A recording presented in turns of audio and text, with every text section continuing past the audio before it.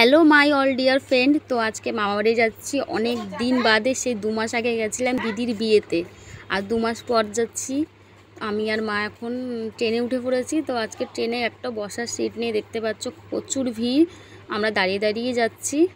তো মামা বাড়ি এসে গেছি। তো দেখো মামাবাড়ির ঘরটা।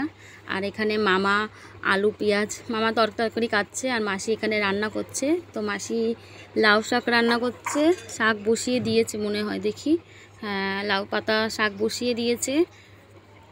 আর মা এখানে দাঁড়িয়ে দাঁড়িয়ে হাসছে, ভিডিও করছি বলে। আর আমরা আসার পরে দিদি এসে গেছে। দিদির সাথে অনেক দিন বাদে দেখা।